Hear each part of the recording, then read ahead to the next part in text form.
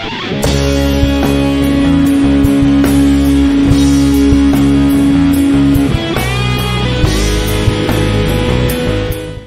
Alex, Oh, hey, what's up, guys? can you show us something cool? Absolutely. Check this out. We just got this in from Gretsch. This is the classic penguin with a killer quilt top. This is a 59. And I mean, oh man, look at that back. Love the uh, sparkle on the uh, on the uh, control plates here. And it's just a great piece of mahogany.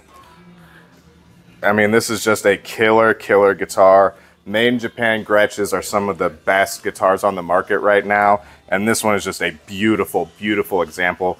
You want to come check this out at Wildcat Guitars ASAP.